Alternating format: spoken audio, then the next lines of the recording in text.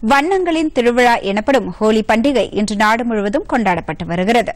தீமையை நன்மை வெல்லும் என்பதையும் வசந்த காலம் வருவதையும் குறிப்பதாக இந்த பண்டிகை கொண்டாடப்படுகிறது.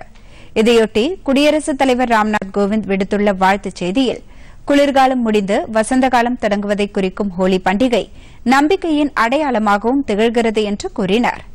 கலாச்சாரத்தில் இந்த பண்டிகைக்கு முக்கிய இடம் உள்ளது என்றும் அவர் தெரிவித்துள்ளார். வண்ணங்களின் திருவிழாவான ஹோலி இந்தியாவின் பன்முகத்தன்மையையும் பல வகை கலாச்சார பாரம்பரியத்தையும் பிரதிபலிக்கிறது என்றும் குடியரசுத் தலைவர் கூறியுள்ளார். குடியரசு துணைத் தலைவர் வெங்கையா நாயுடு வெளியிட்டிருக்கும் வாழ்த்துச் செய்தியில் குடும்ப உறுப்பினர்களும் நண்பர்களும் ஒருங்கிணைந்து ஹோலி பண்டிகையை கொண்டாடுவது ஒற்றுமை சகோதரத்துவம் அன்பின் வெளிப்பாடு என்று தெரிவித்துள்ளார். ஹோலி பண்டிகை தீய சக்திகளுக்கு எதிராக நல்ல சக்தியின் வெற்றியை அடையாளப்படுத்துவதாகவும் உள்ளது என்று அவர் கூறியுள்ளார். ஹோலி பண்டிகை மக்களின் வாழ்க்கையில் மகிழ்ச்சியையும் உற்சாகத்தையும் கொண்டு வரட்டும் என்று பிரதமர் நரேந்திர மோடி வெளியிட்டிருக்கும் வாழ்த்துச் செய்தியில் குறிப்பிட்டுள்ளார்.